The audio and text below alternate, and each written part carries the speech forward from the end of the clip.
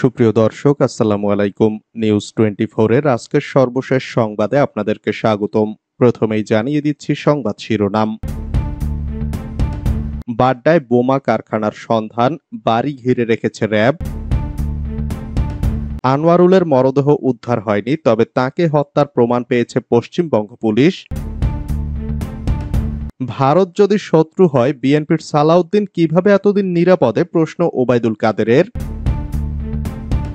MP আজিমের লাশ উদ্ধার হয়নি, মূল হোতা গ্রেফতার, জানালেন পররাষ্ট্রমন্ত্রী। ভারতে এমপি আজিম হত্যা, অনেক বিষয় এখনও অস্পষ্ট। এমপি আনার খুন, নতুন চাঞ্চল্যকর তথ্য দিল ভারতীয় পুলিশ। আনোয়ারুল আজিম ইস্যুতে এখনই মন্তব্য করবে না ভারত। জামায়াত নেতা এটিএম আজাহারের দুই বছর কারাদণ্ড। এতক্ষণ শুনছিলেন সংবাদ শিরোনাম। পুরো খবর পেতে ভিডিওটি শেষ পর্যন্ত দেখুন। সর্বশেষ সংবাদ পেতে চ্যানেলটি সাবস্ক্রাইব করুন। এবার বিস্তারিত। বাড্ডায় বোমা কারখানার সন্ধান, বাড়ি ঘিরে রেখেছে র্যাব। রাজধানীর বাড্ডা থানার পূর্ব বাড্ডার টেকপাড়া এলাকায় একটি বাড়িতে বিপুল পরিমাণ অবৈধ হাত বোমা ও বোমা তৈরির কারখানার সন্ধান পেয়েছে র্যাব। বাড়িটি ঘিরে রাখা হয়েছে। বুধবার রাতে র্যাব তিনের অধিনায়ক লেফটেন্যান্ট কর্নেল মোহাম্মদ ফিরোজ কবির এ তথ্য জানান। তিনি বলেন, পূর্ব বাড্ডার টেকপাড়া এলাকায় একটি বাড়িতে বিপুল পরিমাণ অবৈধ হাত বোমা ও বোমা তৈরির কারখানার সন্ধান পাওয়া গেছে। বাড়িটি ঘিরে রাখা হয়েছে। ঘটনাস্থলের উদ্দেশ্যে রওনা হয়েছে র্যাবের বোম ডিসপোজাল ইউনিট। এ বিষয়ে অভিযান শেষে রাতেই বিস্তারিত জানানো হবে বলে জানান র্যাব তিনের অধিনায়ক। আনোয়ারুলের মরদেহ উদ্ধার হয়নি, তবে তাকে হত্যার প্রমাণ পেয়েছে পশ্চিমবঙ্গ পুলিশ। ভারতের পশ্চিমবঙ্গ পুলিশের মহাপরিদর্শক অখিলেশ চতুর্বেদী বলেছেন, বাংলাদেশের সংসদ সদস্য আনোয়ারুল আজিমের মরদেহ এখনও পায়নি পুলিশ। তবে কিছু প্রমাণের ভিত্তিতে তারা মনে করছেন যে তাকে হত্যা করা হয়েছে। আজ বুধবার বিকেলে এক সংবাদ সম্মেলনে তিনি এসব কথা বলেন। এ ঘটনার তদন্ত পশ্চিমবঙ্গ পুলিশের অপরাধ তদন্ত বিভাগ সিআইডি হাতে নিয়েছে বলে জানান অখিলেশ চতুর্বেদী। সাংবাদিকদের এক প্রশ্নের জবাবে তিনি বলেন, আমরা কিছু সুনির্দিষ্ট তথ্য পেয়েছি যার ভিত্তিতে মনে করা হচ্ছে যে ওনাকে হত্যা করা হয়েছে। পশ্চিমবঙ্গ সিআইডির প্রধান জানান, পূর্ব কলকাতার নিউ টাউন অঞ্চলে যে ফ্ল্যাটে আনোয়ারুল আজিম উঠেছিলেন, সেটি পশ্চিমবঙ্গ সরকারের আবগারি দপ্তরের কর্মকর্তা সন্দীপ কুমার রায়ের। সন্দীপের কাছ থেকে ফ্ল্যাটটি ভাড়া নিয়েছিলেন আক্তারুজ্জামান নামের এক ব্যক্তি। আক্তারুজ্জামানেই ওই ফ্ল্যাটে আনোয়ারুল আজিমের থাকার ব্যবস্থা করেছিলেন কিনা তা খতিয়ে দেখা হচ্ছে। কলকাতার নিউ টাউনের অভিজাত আবাসিক এলাকা সঞ্জীবনী গার্ডেনের ওই ফ্ল্যাটে আজ তল্লাশি চালিয়েছে পুলিশ। সেখানে কি ধরনের জিনিসপত্র পাওয়া গেছে বা রক্তের দাগ পাওয়া গেছে কিনা সে বিষয়ে সুনির্দিষ্ট কিছু জানাননি অখিলেশ চতুর্বেদী। তিনি বলেছেন, পুলিশের ফরেন্সিক বিভাগ তদন্তের কাজ শুরু করেছে, তদন্তে অগ্রগতি হয়েছে বলেও উল্লেখ করেন তিনি। আনোয়ারুল আজিমের সঙ্গে কয়েকজন ব্যক্তি ওই ফ্ল্যাটে এসেছিলেন জানিয়ে অখিলেশ চতুর্বেদী বলেন কিন্তু তারা কবে বেরিয়ে গেলেন সে বিষয়ে আমরা তদন্তের স্বার্থে এখনই কিছু বলতে পারছি না। এটুকু বোঝা যাচ্ছে যে ১৩ মে উনি এখানে এসেছিলেন, তবে তার আগেও এসেছিলেন কিনা সেটা আমরা এখনও জানি না।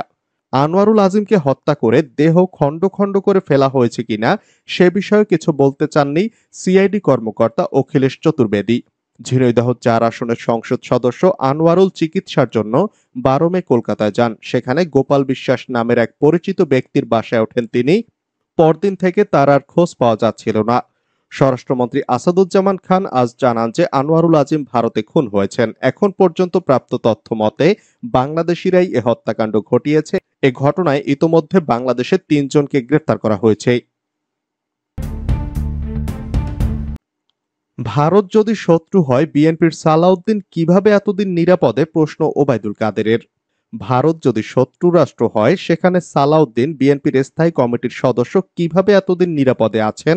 সে প্রশ্ন তুলেছেন আওয়ামী লীগের সাধারণ সম্পাদক ওবায়দুল কাদের। আনোয়ারুল আজিমের ভারতে খুন হওয়ার ঘটনায় বন্ধু রাষ্ট্রে গিয়েও নিরাপত্তা নেই বলে বিএনপির মহাসচিব মির্জা ফখরুল ইসলাম আলমগীরের মন্তব্যের জবাবে তিনি এসব কথা বলেন।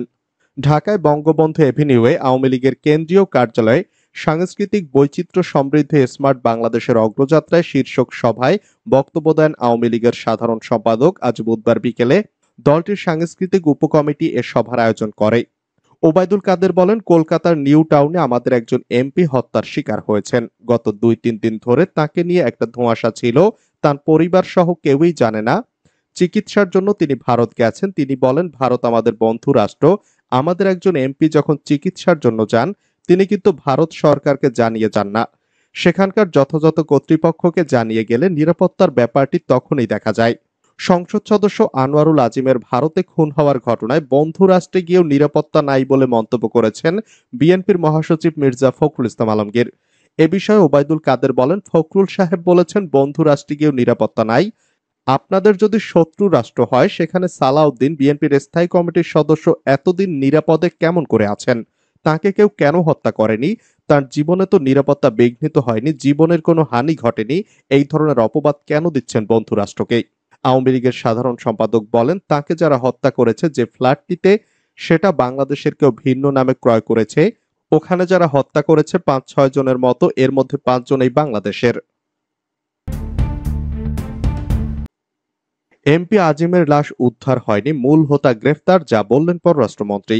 ভারতের পশ্চিমবঙ্গের বিধাননগরে নিউ টাউনে যে ফ্ল্যাটে ঝিনৈদহ চার আসনের সংসদ সদস্য আনোয়ারুল আজিম আনারকে হত্যা করা হয়েছে বলে ধারণা করা হচ্ছে, সেখানে তার লাশ পাওয়া যায়নি বলে জানিয়েছেন পররাষ্ট্রমন্ত্রী ডক্টর হাসান মাহমুদ।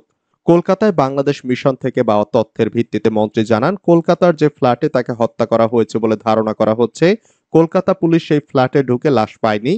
তিনি বলেন, আজিমের হত্যাকাণ্ড অত্যন্ত মর্মান্তিক, দুঃখজনক ও অনভিপ্রেত।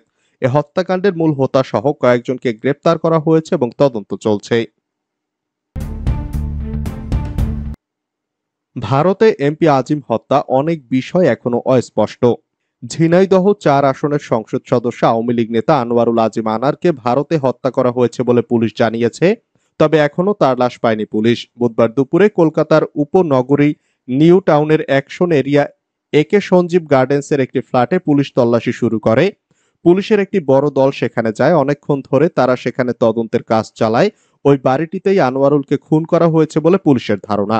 পশ্চিমবঙ্গ পুলিশের ক্রিমিনাল ইনভেস্টিগেশন ডিপার্টমেন্টের আইজি অখিলেশ চতুর্বেদী বলেন, আনোয়ারুলের নিখোঁজ হওয়া নিয়ে তদন্ত চলছিল। তার মধ্যে বুধবার আমরা জানতে পারি তাকে খুন করা হয়েছে।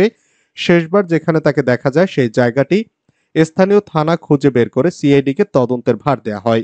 কলকাতা পুলিশের সূত্র জানায়, আবাসনের একটি ফ্ল্যাটে তার রক্তের দাগ পেয়েছেন পুলিশের সন্দেহ, সেটা আনোয়ারুলের হতে পারে।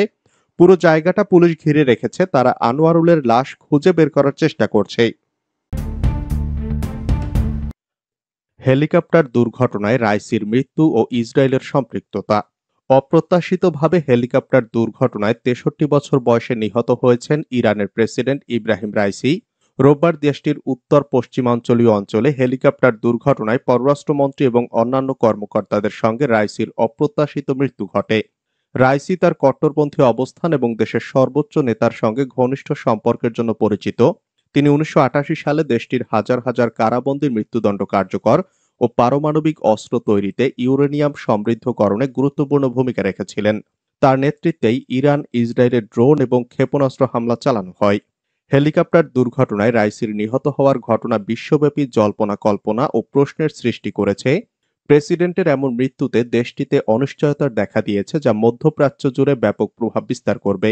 প্রেসিডেন্ট রাইসির মৃত্যু ইরানের ক্ষমতার অভ্যন্তরে শুধু দ্বন্দ্বের সূত্রপাতেই করবে না, বরং এই অঞ্চলে তাৎপর্যপূর্ণ প্রভাব ফেলবে। মধ্যপ্রাচ্যে ক্রমবর্ধমান উত্তেজনা এবং সংঘাতের পটভূমির মধ্যে রাইসির মতো একজন গুরুত্বপূর্ণ ব্যক্তির হঠাৎ অনুপস্থিতি দেশটির ক্ষমতার ভারসাম্যকে ব্যাহত করতে পারে।